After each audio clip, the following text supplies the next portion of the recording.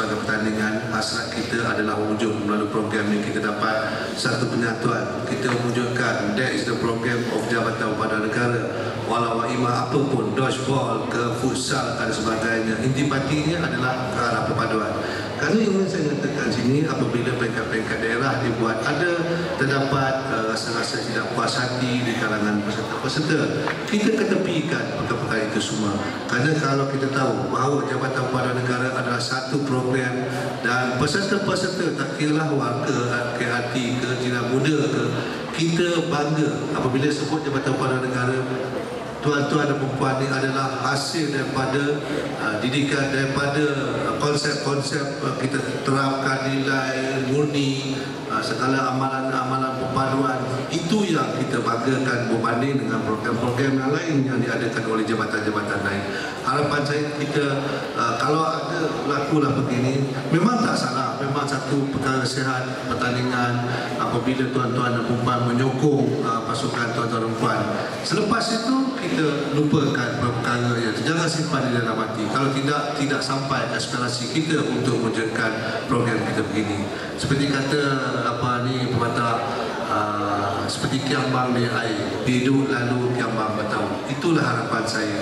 Jadi tuan-tuan dan puan kalau ada apa mesti saya faham uh, ke kemenangan itu bukanlah satu kepentingan tetapi apa yang kita buat adalah semangat jitu kita situ dan untuk makluman jangan uh, jangan fikir pula tahun depan kalau kita ada mungkin tahun depan Melaitan eh, eh, dia akan mengadakan uh, peringkat kebangsaan sekali lagi ya. So, kita mungkin adakan tahun depan, ini ada 2010, 2011 mungkin kita adakan ada satu pertandingan lagi untuk merebut, uh, untuk mewakili negeri. Atau kemungkinan saya pandangan kita akan buat Jabatan Kepala Negara akan mengambil, uh, membuat central training di mana kita ambil daripada daerah-daerah ini yang kuat-kuat kita gabungkan mewakili negeri Perak, bukan mewakili daerah untuk bertanding. Kerana kita rasa tahun lepas agak tercemar sikit kita punya image apabila kita kalah di apa ni di, di peringkat kebangsaan. InsyaAllah rasa tahun ini kalau kita ada semangat juang dan semangat bersatu padu, perkara-perkara ini akan tercapai. Selalu saya katakan there's no number two, there's always number one. Saya harapkan kita di Perak akan jadi nombor satu dalam dua sport. Jadi untuk meningkaskan ucapan saya sekali lagi terima kasih kepada yang uh, terlibat. Cuma lepas ini saya minta satu lah. Lepas ini ada acara akan beri taklimat kepada tuan-tuan dan puan. Cuma guru, guru-guru, uh, guru-guru yang berada di sini saya nak berjumpa di uh, sebelah di belakang sampai sini bukan nak dating dengan orang atau nak apa cuma ada uh, sebelum besok orang ada meeting jadi rasanya penting saya tak sempat untuk berjumpa dengan guru-guru dan mungkin ada perkara yang perlu dibangkitkan saya tahu hari ini jangan besok bangkit besok tengah-tengah pula saya apa yang tanya. Kalau dah kata tak cukup duit ke apa dan sebagainya hari inilah yang kita akan lulus. Lepas ini saya minta guru-guru akan bersama saya guru-guru saja ya, yang terlibat itu saja.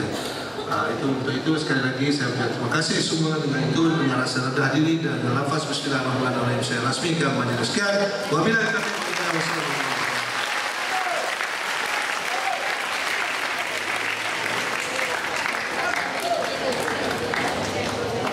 Majlis merakamkan ucapan terima kasih kepada yang berbahagia Encik Alias bin Muhammad Pengarah Jabatan Perpaduan Negara dan Integrasi Nasional Negeri Perak di atas ucapan peresmian sebentar tadi. Terbang tinggi si burung kenari hingga sebentar di dahan yang rendah. Selamat datang ke pertandingan dodgeball community. Bersemangatlah anda, mudah-mudahan. Dengan berakhirnya ucapan peresmian tadi maka dodgeball community peringkat negeri Perak tahun 2010.